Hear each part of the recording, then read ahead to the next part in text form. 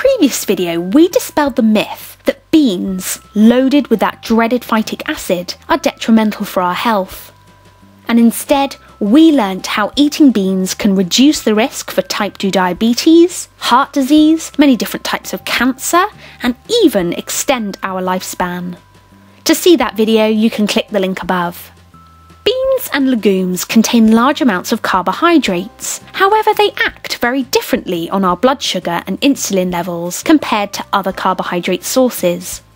If you combine beans with high glycemic foods, for instance like white rice, you can actually blunt the spike in blood sugar and insulin levels that the white rice would have caused, just by adding beans to the meal. In fact, beans can actually moderate your blood sugar, not just at the meal you eat them, even up until the next day. And it's this effect we're going to look at in more depth now. So let's hear as Dr. Joel Fuhrman explains the amazing effects that beans have on our body. The link to the full presentation will be in the description below. The resistant starch is a type of carbohydrate that's resistant to enzymatic degradation, which means it doesn't get absorbed as calories. Some of the calories in beans don't get broken down. They pass through you and go right through into the toilet bowl because the resistant starch is degraded by bacteria in the distal part of the small intestines and proximal part of the large intestines. That means it gets turned into fat. But it gets turned into short chain fatty acids so far down in the digestive tract that 90% of those calories pass through into the toilet bowl, thus increasing stool fat. More fat in your stool, less fat in your body.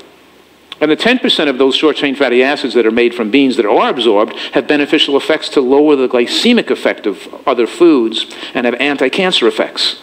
And the buildup of bacteria that are needed to digest those resistant starches in beans have beneficial health effects. Those bacteria prevent the absorption of glucose from other foods that are not beans. When you eat beans regularly, you build up the bacteria to digest those beans better. So when you're eating beans regularly, you're not producing as much gas from the beans as anymore because you're digesting them better because you're eating them regularly. You have now a bowel full of those bean digesting bacteria, and those bean digesting bacteria live within you now.